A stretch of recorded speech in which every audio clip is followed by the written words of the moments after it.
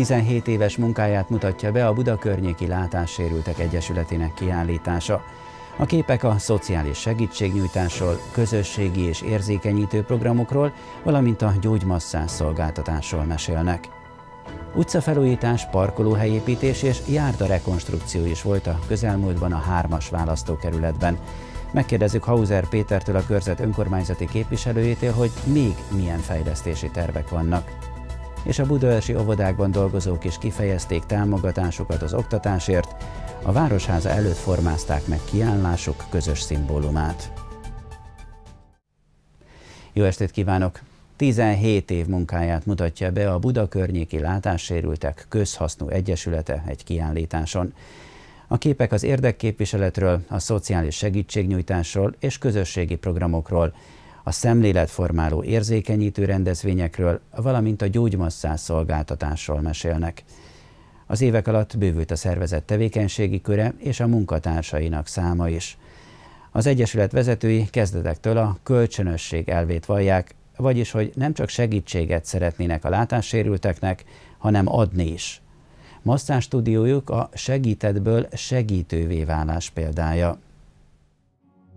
Az egyik a hírekben negatív hősként szerepel, a másik egy zászlóval a téren menetel.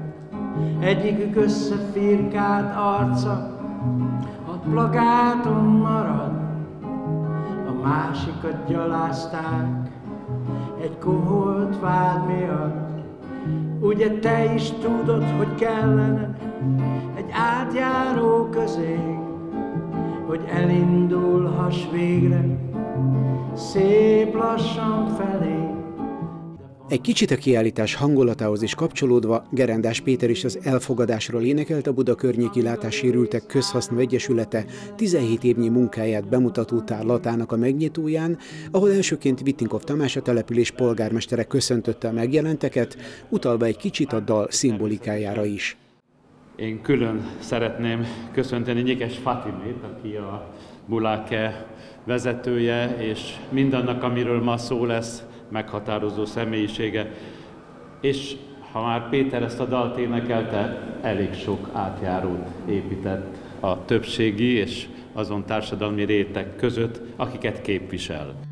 Bitinkov Tamás beszédében méltatta azt a hatalmas és nélkülözhetetlen munkát, amelyet a Buláke az elmúlt 17 évben végzett. Ennek volt sajátos képi lenyomata a tárlat, amely fotók segítségével mutatta be a legfontosabb történéseket.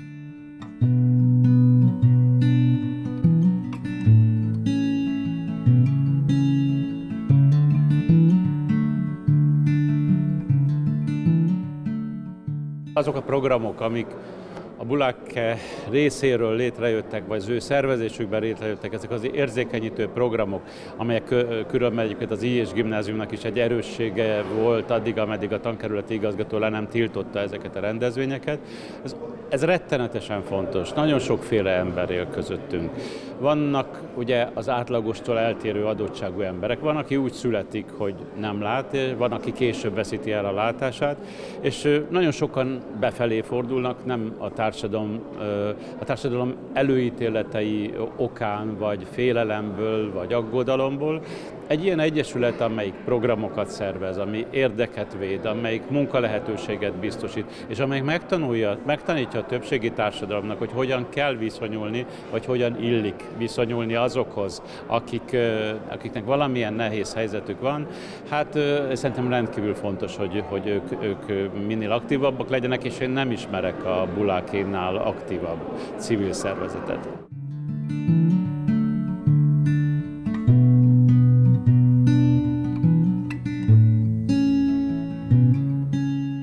uniós elvárásnak megfelelően született a szervezetünk, és az egyik kedvenc szakszavam a szubszidiaritás. és ez az az alapelv, ami, ami mentén kiépítettük a működésünket, tevékenységeinket, hiszen az a leghatékonyabb segítségi mód, hogyha helyben kezeljük a problémákat.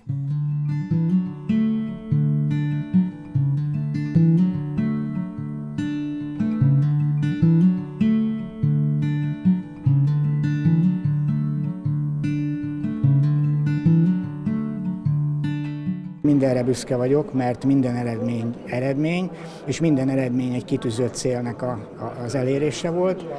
Ha nagyon röviden és nagyon nagy lépésekben kell válaszolnom, akkor eleve az, hogy elértük Budörsön azt, hogy az emberek tudják, hogy kik vagyunk, hogy elértük Budörsön már azt, hogy a tagjaink tulajdonképpen hozzánk hazajárnak, nagyon sok emberrel, nagyon sok diákkal, nagyon sok társasággal ismertettük meg a látássérültek életét. Ez már lassan természetes, nekik tudják, hogyan segítsenek. Emellett nagyon fontos állomás volt 2008-ban, amikor el tudtuk indítani a foglalkoztatást, ahol ugye ma már elég sok munkavállalónk van védett munkahelyen. Én úgy gondolom, hogy a mai világban ez nem kis eredmény. Emellett számtalan koncertet, számtalan bált, eseményt tudtunk idehozni a városba, nagy előadókkal, Omegával, Zoránnal, egyéb neves előadókkal, akik, akik nem csak segítettek nekünk, de műsort hoztak, életet hoztak ugye ide a városba.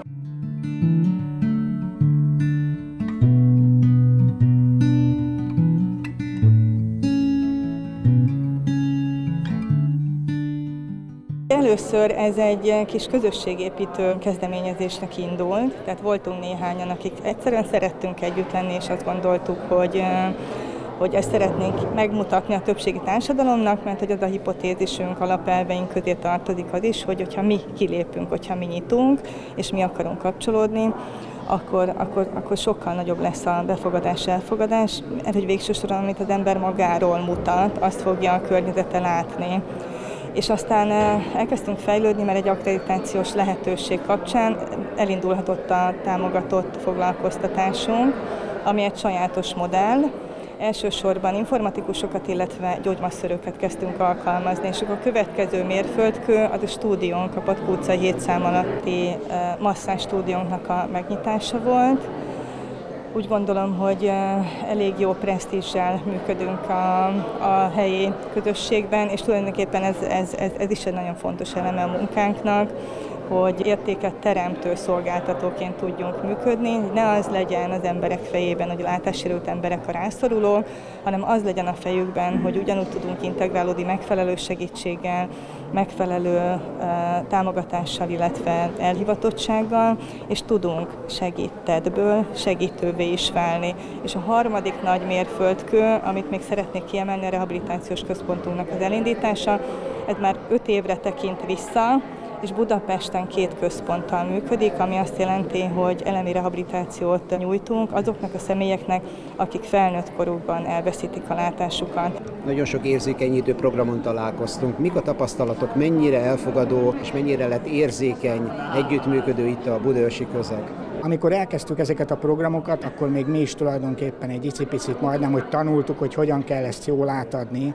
a látótársadalom felé. Az elmúlt évek tapasztalata egyértelműen minket igazol, az emberek már nem félnek tőlünk, nem félnek megkérdezni, hogy segíthetnek-e, mert ugye ez a legfontosabb, és ami, ami még fontos, hogy már a gyerekek is akik akkor gyerekek voltak, ma már felnőttként, illetve a felnőttek ma már rutinosabban lépnek oda hozzánk, és sokkal kevesebb tévhit az, amit meg kell magyaráznunk, ez pedig nekünk biztonságot jelent és jó érzés.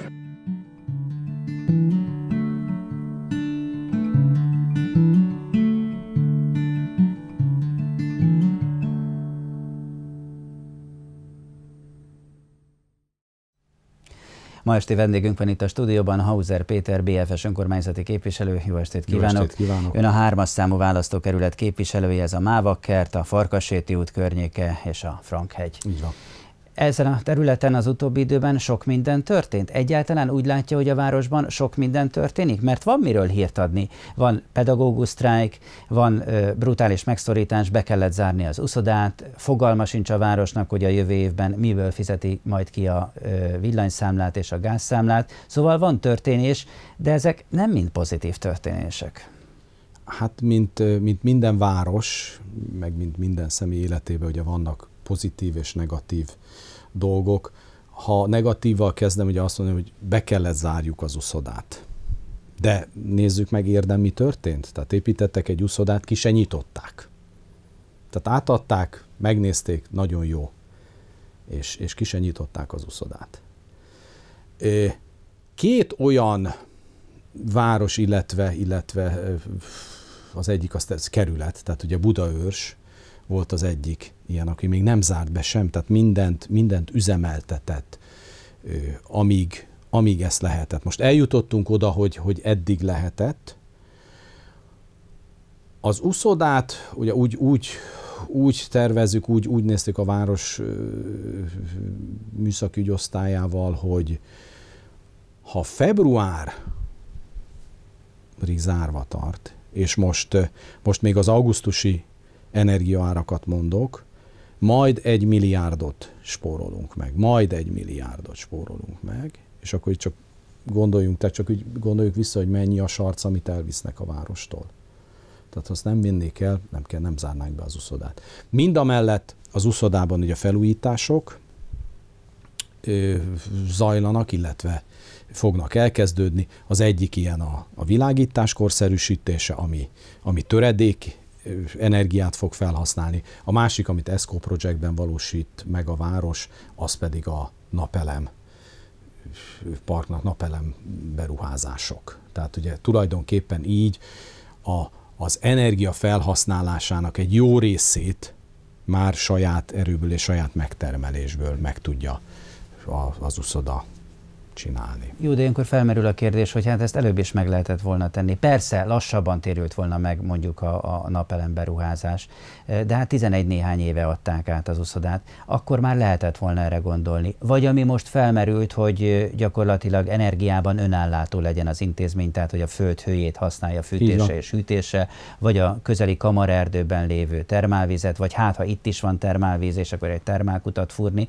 Szóval, mintha ezek úgy, úgy el, elmentek volna, elszalasztotta volna a lehetőségeket az önkormányzat, mert nem volt rá kényszerítve? Olcsó volt a gáz és a villany, és, és akkor igazából nem kellett ezzel foglalkozni? Nem, igazából, igazából nem. Tehát igazából nem. Mindig volt, mindig volt ugye más, amire hirtelen, tehát ha most erről az intézményről beszélek, hogy, hogy hirtelen. Aztán a másik, amit kérdezett, hogy ugye a, a fejlesztések, hogy azért zajlanak, vannak fejlesztések, ez megvalósul, az megvalósul, és hogy hát milyen jó ez. Hát megmondom őszintén, nem annyi, amennyit én szeretnék. És, és, és ha bármelyik képviselőtársamat megkérdezi, ők is azt mondják, hogy persze nem annyi, amit én a körzetembe szeretnék fejleszteni, hisz volt azért egy meleg nyarunk, a, és most a saját körzetemről beszélek, ebben a meleg nyárban is azért, azért, azért voltak fejlesztések. Tehát egy-két elmaradt dolog, tehát itt gondolok arra, amikor, amikor ugye a járda nem készült el egy darabon, mert építkezés volt még akkor, ugye? Erről, erről beszéltünk. Igen, ez a Láng utcában, Láng volt, utcában, ha jól tudom. Így van a Láng Ott épült egy ház, és ott, ott nem építették hát pont, meg a járdát. Így van, pont, pont akkor zajlott az építkezés, na most tehát műszakilag abszolút érthető, mert most megépítik a járdát, jönnek ezek a nagy tengelyterhelésű gépjárművek, azonnal megsüllyed. Ugye a járda nem arra van terhez, tervezve, hogy, hogy, hogy nehéz gépkocsik hajtsanak át rajta. Egy picit még hadd kanyarodjak vissza az uszodához. Ugye azt mondta, hogy nagyjából egy milliárd forintot sikerül megtakarítani, ami így azért jól hangzik, de ugye ez, ez nem egy olyan pénz, ami azt jelenti, hogy akkor most van egy milliárd forintunk, hiszen ezt korábban nem tervezték be üzemeltetésre, amikor mondjuk a költségvetést elfogadták az év elején, akkor még senki nem gondolta, hogy ilyen brutálisan megdrágul a gáz és a villanynak az ára. Tehát ez nem azt jelenti, hogy van egy milliárd forint elkölthető pénz. Viszont sokan feltették nekem a kérdést, hogy és arra számolnak, hogy ha majd leeresztik a vizet a medencéből, akkor ott leesnek a csempék, hogyha nem kapcsolják be a különböző berendezéseket, akkor elkezd penészedni, ez megy tönkre, az megy tönkre akkor erre is kell majd költeni. Természetesen kell, tehát ugye amikor, tehát ugye november 1 zár be az uszoda, ez nem azt jelenti, hogy akkor ott, ott azon a részen megszűnik az élet. Ez azt jelenti, hogy, hogy akkor az ilyen az ilyen karbantartási munkálatokat, kisebb, nagyobb karbantartási munkálatokat el lehet végezni. Tehát mint amit kérdezték, hogy és akkor, és akkor hány embertől vál meg, válik majd meg a BTG? Hát egytől sem. Egytől sem. Tehát minden egyes munkavállalónak ugyanúgy munkát adnak, és ugyanúgy biztosítják számukra a megélhetést. Tehát ez, ez, ez nem, nem volt kérdés. Mert hogy az ő bérük még belefér a büdzsébe, idézőjelbe? Tehát azzal már olyan nagyon sokat nem lehetne megtakarítani, ha mondjuk 5-6-8-10 embert elküldenének? Mert hogy ugye én azt a példát hoztam föl Székely Búcsúnak, amikor itt volt a stúdióban az intézmény igazgatójának, hogy Miskolcon ott gyakorlatilag szinte mindenkit elküldtek a fürdő cégtől. Fölteszem a kérdést, mi van, ha a februárban nyitunk? Akkor fel kellene venni Akkor fel kellene. Mint tehát... mondjuk a reptéren a reptéri dolgozókat, hogy elküldték, most meg nincs, aki pakolja a csomagokat. Igen, tehát Budaörs nem az a város. Budaörs nem az a város. Budaörs igenis egyrészt szociálisan érzékeny, tehát ez, ez látható most, hogy, hogy amennyivel megemelte a város ugye a szociális büdzsét, amit, amivel majd, majd lehet gazdálkodni, mert, mert erre is számolnunk kell, hogy lesznek olyan budaörsi lakosok, akik rászorulnak erre, és a, a határt is, ugye a szociális jogosultság határát is, jövedelem határát is megemelte a város. És így hogy látja a jövő évet? Amikor a polgármestert kérdeztem előle, az már jó néhány héttel ezelőtt volt, akkor azt mondta, hogy az idei évet azt nem így fogalmazott, de a lényeg az volt, hogy fogcsikorgatva, de kibírjuk, de hogy jövőre mi lesz, arról fogalmunk sincsen. Őszinte legyek, én se tudom. Én se tudom. Nem tudjuk, hogy, hogy milyen energiaárak lesznek. Hát a gázt azt a világpiacról vesszük már. Tehát mint város. Ugye amit eddig fizettünk 23 forintot, azért most 108 forintot fizetünk, most csak egy ilyen áram, árat mondok most. Ennyire emelkedtek, és nem tudjuk, hogy mi lesz januárban, nem tudjuk, hogy mi lesz jövő márciusban, tavasszal, nyáron, ősszel.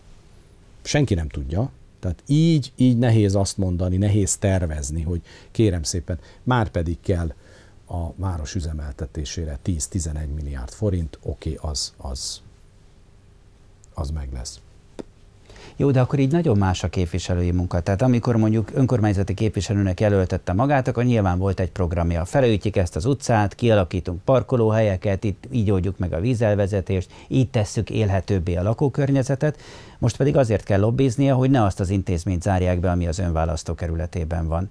Vagy hogy, vagy hogy ne azt a nyugdíjas klubot, vagy nem tudom. Tehát igazából fogalma sincs az embernek, hogy, hogy önök most miről beszélgetnek. Tehát am- Tehát amíg, amíg a város tudja, és ez biztos, a város által üzemeltetett intézményeket nem fogja bezárni. Tehát ugye itt, itt most az uszodáról beszéltük, ami egy, egy óriási felhasználó. Tehát az uszoda sokkal többet használ föl, mint az összes többi energiát, mint az összes többi intézmény együtt vége, véve. Tehát itt, itt most azért egy, ez, mondjuk így egy nagyobb megtakarítást sikerült azért eszközölni ezzel. Sajnos ezzel. Uh-huh. És aztán majd kiderül, hogy mi lesz jövőre. No, beszéljünk a választókerületéről. Elkészült már a, az Öntő utca felújítás, ugye 90 millió forintot fordítanak rá, és az Esztergályos utcáig épül új aszfaltburkolat, illetve gyeprácsos parkolók. Igen, igen, igen. Most az utolsó simítások zajlanak éppen itt a napokban, hetekben, tehát a műszaki átvétel folyik, tehát a maga az, az út, az útfelület, az útburkolat, az útalap, illetve a parkolók azok alapozása elkészült. Tényleg az utolsó simítások vannak, tehát a törmelékek elszállítása, termőföld kihelyezése, gyepesítés, füvesítés. Vagy ilyenkor lehet össze? Ilyenkor jobb, mert ilyenkor csapadékosabb az idő. Uh-huh. Tehát, akkor Tehát jobban meg, megfogja a föld. Nincs olyan meleg, a fű azért nem szereti annyira nagyon nagyon meleget, tehát e-, ezzel is, ezzel is ugye számolni kell. Aztán lesz folytatása? Mert nyilván ezt kérdezik öntől, öntől a választók, hogy eddig most elkészült, és utána? Szeretném, szeretném. Azt ugye elmondtam már többször, hogy ebből a pénzből még két évvel ezelőtt, vagy másfél évvel ezelőtt az egész utcát föl lehetett volna újítani, az egész elejétől a végéig. Most már csak a feléig jutott ebből a pénzből szeretném, tehát ugye, ha már egyszer eddig megcsináltuk, hogy akkor folytassuk, és ugye ez az ott lakóknak az igénye is, és én ezt, ezt maximálisan megértem és képviselem is, hogy, hogy tovább folytatódjon az útnak a, az utcának a felújítása, megújítása. Hát ez nyilván attól is függ, hogy mire lesz pénze a városnak, meg hogy milyen árajánlatokat kap. Mert ugye egyrésztől azt látjuk az építőiparban, hogy nagyon visszaesett a megrendelések száma, Azért is, mert hogy egyrészt a kormány is leállított szinte minden beruházást, csak a folyamatban lévőket fejezi be, másrészt a magánberuházók is azt mondják, hogy na, ez az időszak nem az az időszak, amikor mi építkezünk. Tehát van rengeteg építőipari kapacitás, viszont a nyersanyag az pontosan ugyanolyan drága, az ugyanúgy függ az euróforint árfolyamtól, a dollárforint árfolyamtól. Ennek ellenére, ugye amit ön elmondott, ennek ellenére a, a nyersanyagárak exponenciálisan emelkednek. Tehát, hogy mind a mellett, hogy nincsenek, nincsen, nincs annyi megrendelés, a tüzépeken továbbra is napi ár van. Tehát, hogy, hogy ezzel, ezzel, ezzel a beruházóknak is nagyon nehéz számolni, tehát az, és azt minden beruházó is, mert ugye a közbeszerzés mit mond, tehát megállapítja a, a, az ajánlatadó, ad egy vállalási árat, neki azon az áron kell vállalnia. Tehát most mit tud csinálni? Előre beszerzi az anyagot, előre be, tehát rögtön mihelyt ő elnyerte, tehát ez, ez nem egy nagy titok. A legtöbb beruházó így csinálja, hogy amikor elnyeri a közbeszerzést, abban a pillanatban ő az összes anyagot megvásárolja, leköti, letárolja, tulajdonképpen így tudja valamelyest biztosítani azt, hogy, hogy, hogy ne lépje túl a vállalási árat. És hogy ennek a végeredményeként ne legyenek torzók, félbeagyott beruházások Így a városban, mert nyilván Így, ez hát is az, fontos. Az, ugye azért az, az sose lesz, tehát azt kell mondjam, hogy, hogy azt meg a város nem engedheti meg magának, meg mi sem engedhetjük meg magunknak. Összegyűjtöttük egy pár apró beruházást, ami a választókerületében történt. A Fém utca és a Harmat utca sarkán parkolót alakítottak ki, a Farkaséti úti fizikoterápiás épületnél mozgáskorlátozott parkolóhely létesült, a Szemmelweis utcában is parkolóhelyeket festettek, ezek apró kis beruházások. Ebben van szerepe a helyi képviselőnek? Tehát valaki azt mondja, hogy van. kedves képviselő úr, a Farkasértő úti fizikoterápiás épületnél van. nincs mozgáskorlátozott parkoló. Van. Na de kérem szépen az előírás, hogy ott lennie kellene, nem? Van, van szerepe, persze van szerepe a képviselőnek, mert ő pont ugye az egészségügyi központnak a vezetője keresett meg ezzel, hogy ha már ott vagyunk, akkor, akkor ugye mert a Tököli utca is megújult, és ők is igényüket jelezték, hogy ide azért egy mozgáskorlátozott parkolót, ráadásul egy fizioterápiás központ, ahol zömében mozgáskorlátozottak jelennek meg, mozgáskorlátozottak járnak, tehát nekik azért kell. Tehát ez, ez, ez, egy, ez, ez azt kell mondjam, hogy egy, egy számomra egy adósság volt, amit most törlesztettem és, és megvalósítottunk. Ugyanígy, ugye, amit mondtam, a Fém utcai járda, hát az, az nem véletlenül maradt ki, illetve ezek a, ezek a parkolóhelyek, amiket amiket kialakítottunk, illetve amiket felfestettünk, ez, ez ugye lakossági igény volt a felfestés, hogy, hogy, hogy ez valósuljon meg. Itt azért nagy szerepe van a, a képviselőnek, tehát hogy itt ezt egyrészt figyelemmel kell kísérni, másik pedig hát ki is kell ezt harcolni. Uh-huh. A laikus azt gondolná, hogy ezek egyszerű dolgok. Én a gyalogátkelőhelyre is azt gondoltam. Hát oda kell, hogy menjen egy festőbrigád, azt nekiáll és felfesti a gyalogátkelőhelyet. Aztán elmagyarázták, hogy nem. Én is így gondoltam. Mert egy százezer előírásnak kell megfelelni. Ugyanígy a parkolóhelyeknél is, hogy akkora hely legyen, így lehessen kanyarodni, úgy elférjen az autó. Szóval vannak itt előírások. Pontosan, és ha már átértünk itt a, a gyalogátkelőhelyre, ugye egy, egy egy megvalósuló projekt, vagy amit, amit szeretnék, hogy, hogy megvalósulna, hogy a Farkasréti úton a Lilium utcánál a gyalogáthelőhely, ezt ugye kérték. Na most itt is engedélyezés, középsziget lesz, nem lehet belátni, ott érdekesen ö, csatlakozik egymásba a két út, nem lehet belátni, tehát kell egy középszigetet létrehozni. Ezt, mindezt engedélyeztetni, hogyan legyen, mint legyen a hatóságokkal, de jó hír, hogy, hogy, hogy mostanában kaptuk meg, vagy kapjuk meg majd a, az engedélyeket. És akkor el is indul a beruházás. Mert, Bízom mert hogy ez városi tulajdonban lévő út, tehát itt még az sincs, mint a főúton, hogy az állami közútkezelővel kellene egyeztetni. De így akkor van, itt is ilyen van, bonyolult van, az ez eljárás. A, hát ez, ez, a, ez a város, tehát a városnak egy, egy kelet-nyugati főszekötő útja. Tehát De a ezért, a vá, így van, így van, így van, ez a miénk. Ez a miénk. Csak ugye most megint, hogyha egy kicsit a sarcról beszélek, a gépjármű adó az már nem a mi zsebünkbe megy, tehát nem a város zsebébe megy, nem az itt lakóknak a zsebébe megy, hogy ezekből például ezt is meg tudjuk valósítani, hanem elmegy a nagy állami költségvetésbe. De legalább ez elkészül. Bízom benne, hogy minél előbb elkészül. Köszönöm a beszélgetést. Én köszönöm.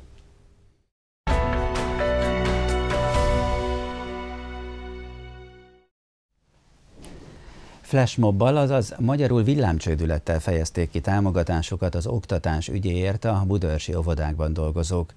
A Városháza elé hívták a szimpatizánsokat, hogy a szülőkkel, gyermekekkel, óvodai dolgozókkal együtt formázzák meg kiállások szimbólumát.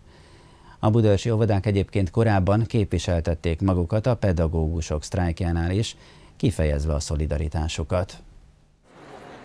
A közös kiállás szimbólumával, a piros körbezárt felkiáltó jellel fejezték ki október 14-én reggel a budaörsi óvodákban dolgozók, szülők és mindenki, aki megjelent, hogy egyetértenek a pedagógusok követeléseivel a nagyobb megbecsülésért, az oktatás korszerűsítéséért, a rendezett bérekért és a sztrájkjogért. Mi is az oktatási rendszernek a része vagyunk, és ugyanúgy megéljük a mindennapokban azokat a hiányosságokat és azokat a elutasító válaszokat, amiket évek óta kapunk. Ugyanúgy részt veszünk a sztrájkban, ugyanúgy felszólaltunk, petíciókat adtunk be, és hát sajnálatos módon ez nem, nem került meghallgatásra, és úgy érezzük, hogy kell, kell az összefogás, kell az, hogy, hogy mi itt együtt Budörsön megerősítsük azt, hogy, hogy ebben a helyzetben helyzetben. Mi mindannyian, akik oktatási nevelési intézményekben dolgozunk, akiknek a gyermekei oda járnak, szülők, nagyszülők, akik a későbbiekben terveznek családot alapítani, tehát jelen pillanatban mindannyian ebben a helyzetben vagyunk benne. És lényegtelen, hogy milyen szegmenséről beszélgetünk a társadalomnak. A budörsi óvodákból egy kivételével mindenhonnan jelezték részvételüket a flashmobra. Az óvodapedagógusok nagyjából 70%-a részt vett a sztrájkban is, és ennél még nagyobb arányban fejezték ki a szolidaritásukat. A bölcsödékből is biztosították a szolidaritásukat, és a szülőktől is folyamatosan kapják az óvodák a támogatói leveleket a felszólalásunknak a felkiáltó jele, hogy igenis itt szükség van változásra, igenis meg kell mozdulnunk, és együtt kell megmozdulnunk, mert a tömeggel nem tudnak mit kezdeni az emberek, és hogyha mi itt Budaörsön megmutatjuk azt, hogy mi itt együtt vagyunk, akkor úgy gondolom, hogy ez el fog messzebbre is jutni pár nappal ezelőtt a Facebookon futottam bele egy felhívásba, és akkor láttam, hogy itt ma reggel fél nyolckor egy szimpátia flashmob megformázva azt a jelképet, ami most már a tanárok, szülők, diákok mozgalmának a jelképe lett a tanárok melletti, a pedagógusok melletti kiállás. Úgyhogy hát úgy gondoltam, hogy akkor nekem is itt a helyem, egy kicsit átrendeztem a programomat. Mennyiben vannak más helyzetben a budaörsi pedagógusok, mint az ország más területén? Ja, az a helyzet, hogy a, az óvodában dolgozóknak is a jövedelmét a bértáblák határozzák meg, ugyanakkor a város azért itt is a Clementis ösztöndíjon keresztül jelentős kiegészítést ad, és az óvodák műszaki állapota, tehát az a fizikai környezet, ahol dolgoznak az óvodában dolgozók, és ahova a gyerekek járnak, mert ugye őket szolgáljuk ki alapvetően, és a szülő a megrendelő, ha úgy tetszik, a legjobb minőségben állnak rendelkezésre. Az iskoláknál az a helyzet, hogy ugyanezt kellene tennie a tankerületi központnak, és miközben azt a pimaszt állítást fogalmazzák meg, hogy a tanárok, amikor kiállnak saját magukért, akkor, akkor jogszabályt szegnek, meg nem látják el a feladatukat, akkor nézzük meg, a Budaörsért felelős érdi tankerületi központ vezető évek óta nem számol el azzal, a kötelezettségével, hogy az adott évben mennyit fordított az iskolákra. Tudnék, az iskolák a város tulajdonát képezik. Attól, hogy az állam államosított ezt a feladatot, és egy ilyen ingatlan átadási, tulajdonátadási szerződést kötöttünk. Ez nem jelenti azt, hogy a város elveszítette volna a tulajdonát, hanem az iskolák épületének a használatát nyerte el, vagy vette el az állam, sokkal inkább ez a helyes megfogalmazás, de kötelezettsége lenne a tankerületnek arra, hogy a törvényben meghatározott összeget, azaz amortizáció összegét ráfordítsa az iskolákra. Évek óta nem számolnak el, munkatársaink kiszámolták, közel egy milliárd forint az, amivel tartoznak Budaörs városának.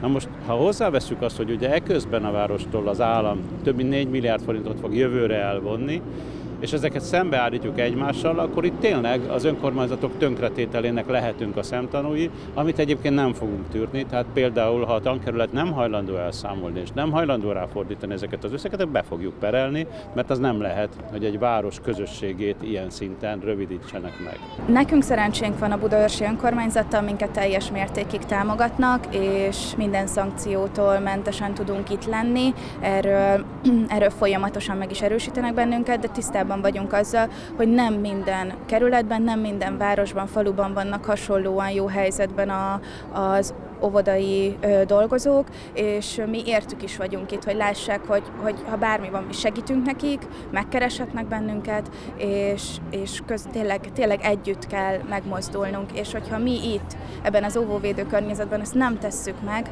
nem várhatjuk el másoktól is, holott úgy érzem, hogy óvodai dolgozóként felelősséggel tartozunk a ránk bízott családokért. Óvónő vagyok itt Budaörsön, és félek, hogy nem lesz a gyerekemnek tanítódénie, tanára, félek, hogy el fognak fogyni a pedagógusok, és, és úgy gondolom, hogy ez egy nagyon fontos ügy. Pedagógus hiány van-e Budaörsön? Tud-e arról, hogy esetleg mostanában hagyták el a pályát pedagógusok a helyzetük miatt? Hogyne, hogyne, hogyne, és elkeserítő ez a történet.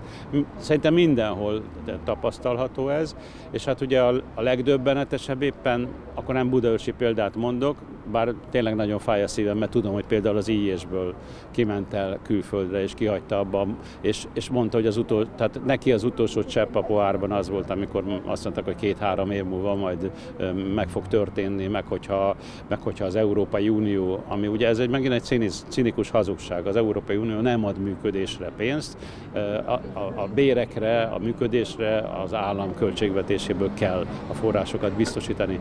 De, de ugye nézzük meg a kölcsei esetét, ahol gyalázatos módon öt pedagógus rúgtak úgy ki, hogy a leg, hogy is mondjam, a gerincét törték meg az iskolának, és az egyetlen kémia tanárt kirúgták, olyan osztályfőnököt rúgtak ki, akinek az osztálya idén, idén fog érettségizni.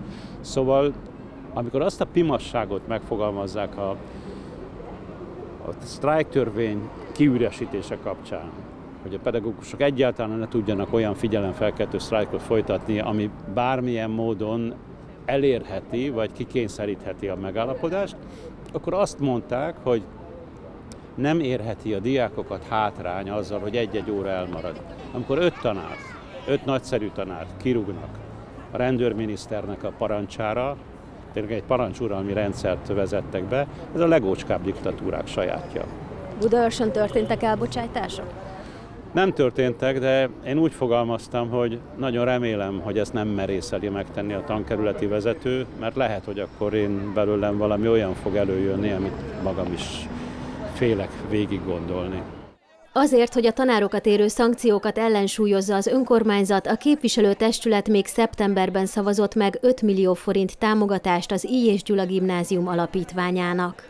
Az önkormányzat az arra biztosította, hogy a kieső bérekre. Még nem vettünk fel belőle, de a tiltakozások miatt azért sok pénztől estünk el, úgyhogy elképzelhető, hogy ebből azért felveszünk, és legalább nem a, a tanítanéknak a központi számláját fogjuk ezzel csökkenteni, amit az emberek szintén erre adtak be. Ezt a mai rendezvényt ugye az óvónők szervezték le a kalappal előttük, és azt tudom mondani, hogy, hogy valószínű mégiscsak igaza volt Orbán Viktornak, hogy az óvodákban történtek nem áttalakító műtétek, csak nem a gyerekeknél, hanem az óvónőknél, mert itt most nagyon tökös óvónők gyűltek össze. A budaörsi pedagógusok továbbra is hallatják a hangjukat. A Herman Otto általános iskolában október 17-én reggel 19 tanár folytatta a polgári engedetlenséget. 8 és 10 óra között nem vették fel a munkát, nem folytattak oktatási, nevelési tevékenységet, és az iskola udvarára hívták a velük egyetértőket. Továbbra is követelik a kormánytól az oktatási intézményekben dolgozók bérhelyzetének rendezését, valamint a pedagógusok és a tanulók óraszámának csökkentését. Mint egy saktáblára felálltak és egyesével hagyták el a helyüket, szimbolizálva ezzel a pálya elhagyókat. Ezzel szerették volna ismét felhívni a társadalom figyelmét a magyar köznevelés méltatlan helyzetére, súlyos problémáira. Stand up for your right. Come on. Get up,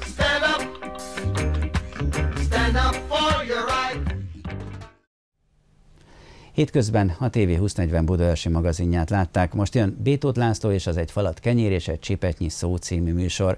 Ha írnának nekünk, az e-mail címünk az, hogy tv2040 kukac tv2040.hu, de tudják, megtalálnak minket a Facebookon is. Mára köszönöm a figyelmet, viszontlátásra!